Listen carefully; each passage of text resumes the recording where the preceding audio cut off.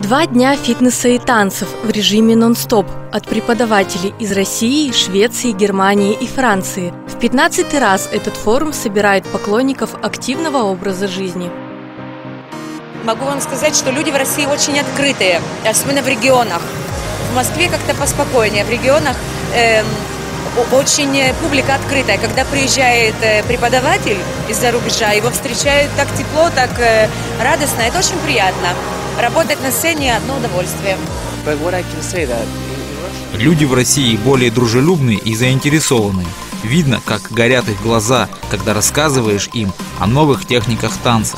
После каждого приезда к вам заряжаешься этим теплом и позитивом надолго. Видно, что по сравнению с прошлым годом участников стало больше, а значит культура фитнеса в России растет и развивается с каждым годом. Вы знаете, за много лет э, сформировалась уже такая дружба между людьми, которые говорят на одном языке, на языке танца. Наши отношения уже давно стали родственными. Конечно, всех за раз мы привести не можем.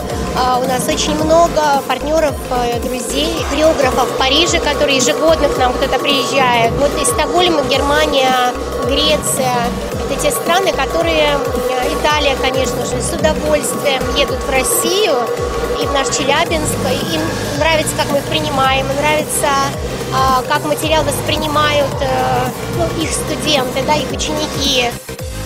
Мало кто знает, но для того, чтобы преподаватели приехали на следующий год, с ними договариваются в первый же день их приезда, так что программа следующего танцевального фитнес-форума уже обозначилась, что еще раз подтверждает уникальность этого события.